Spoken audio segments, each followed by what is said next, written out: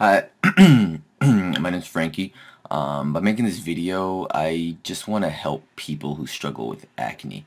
Um, a lot of people think acne is just a teenager problem. Trust me, it's not.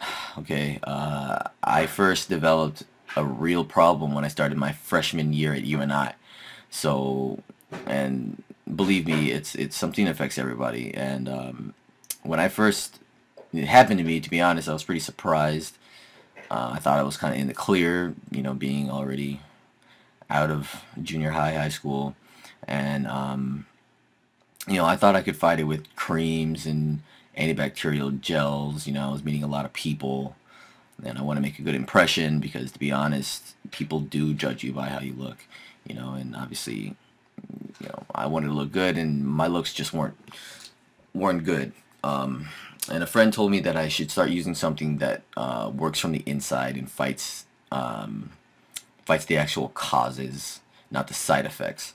And so I did some searching. I came across uh, Derminax capsules, and I tried them for a while, and gradually my skin started to look better.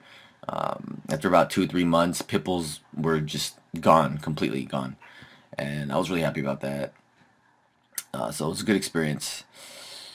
Uh, what else can I say about Derminax? Um, all the ingredients are all natural ingredients, so you can be sure there's going to be no side effects. Um, nutrition is important. When you put in your body is an important thing to consider. So um, I like that Derminax is all natural.